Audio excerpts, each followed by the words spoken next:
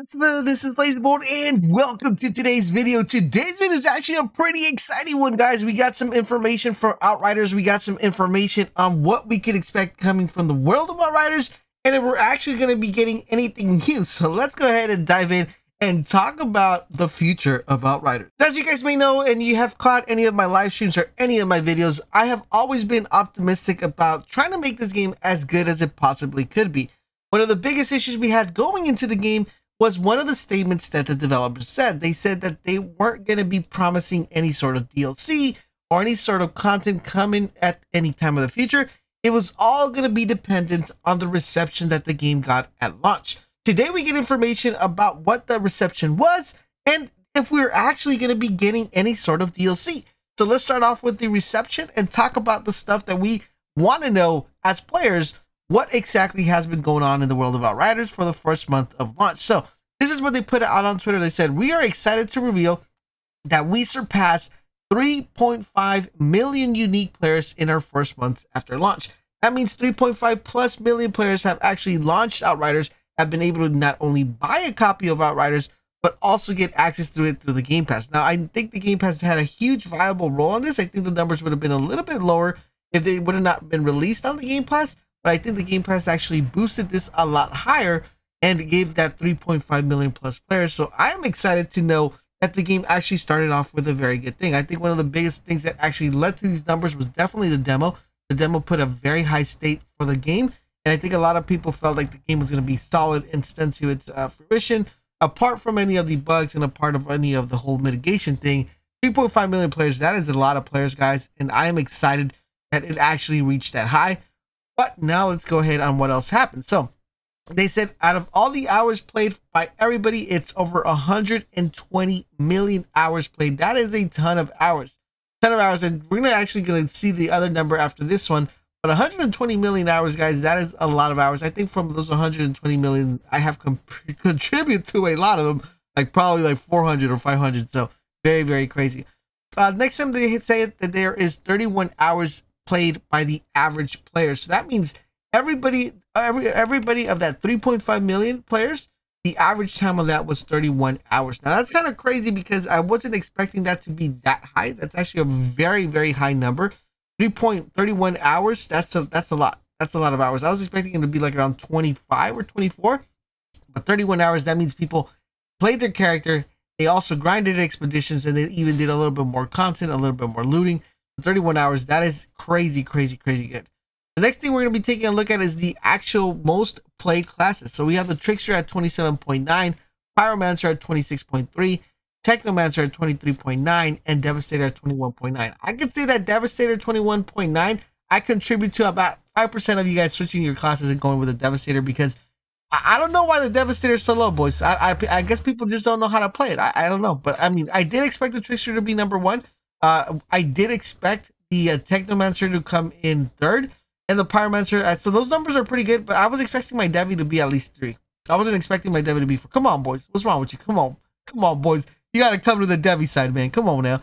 Even though the Trickster's pretty OP, though, but I mean, come on. Devi? Come on now, man. We out damage everybody that comes in the lobby. Come on now.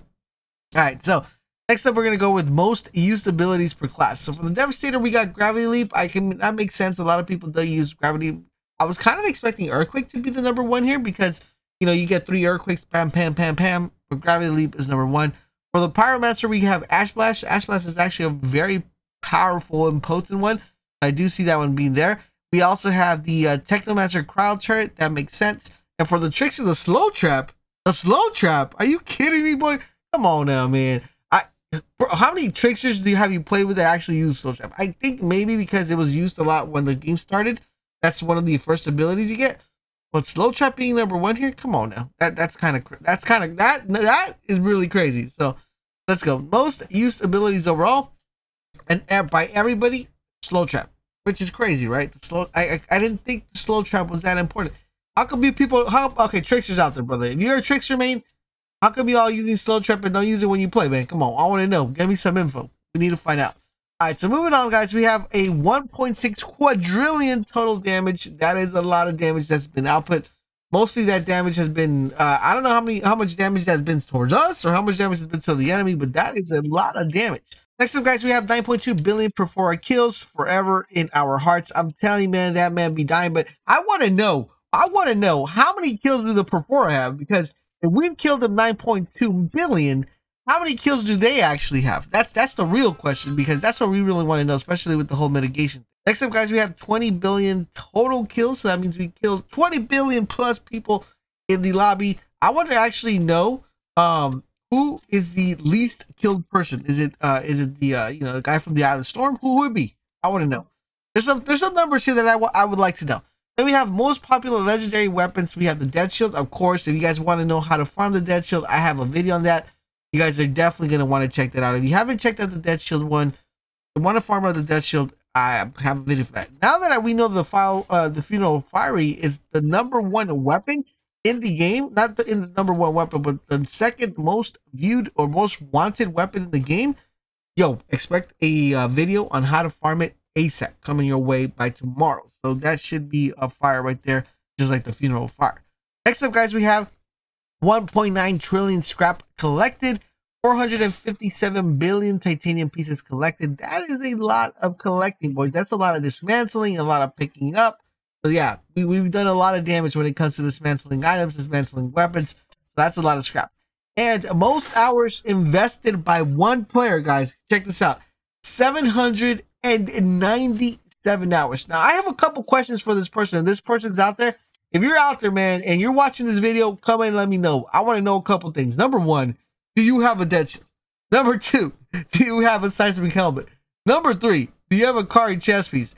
Number four, do you have a, a Yugaki cow coming? We got we got so much questions to ask this man, man. Do you have all the legendaries? Which do you have all of the 99.4? I, I want to know. There is a lot of information we need to gather from this individual. So if he wants to show up and, and let us know who he be, I would be greatly appreciated. So that's pretty awesome. So now the question is asked, okay, Legend, that sounds pretty dope. I mean, you know, that's a lot of people playing. How many people are currently playing right now, right? That's that's the real question. And should people even consider coming back that have probably left? Well, here is the answer we've all been waiting for. And like if you've seen any of my live streams, I said this before, guys, that I do expect some sort of announcement at E3. Some sort of announcement. Not like, uh, you know, we're going to, this is the roadmap, but I do expect something up to be said about Outriders in uh, E3. And I'm hoping and crossing my fingers that's some sort of DLC or some expansion. But that's just wishful hoping. But this is what we have from them that they confirm that we are going to be seeing some future content coming our way. To end all the stats that we're showing, they said, thank you to all the players on all platforms. We are continuing to listen carefully and want to assure you all that we are committed to improving and keyword here, enhancing your experience throughout the coming weeks and months. We are also looking forward to expanding Outrider in the future. So that means expect a expansion coming our way or some sort of DLC coming our way. And I, like I said, be listening very carefully, guys. E3 might be that time where we get some information on a brand new DLC, a brand new expansion coming this year. So make sure you guys stay tuned to this channel because this is where you'll hear it first if there is a DLC announced. So make sure you keep it locked here. Thank you guys for watching. I do hope you guys are enjoying our Outriders coverage. We're not giving up on Outriders, guys. We're still hanging in there. So make sure you guys stay tuned to the channel and turn on those notifications. Thank you guys for watching, and I will catch you guys on the next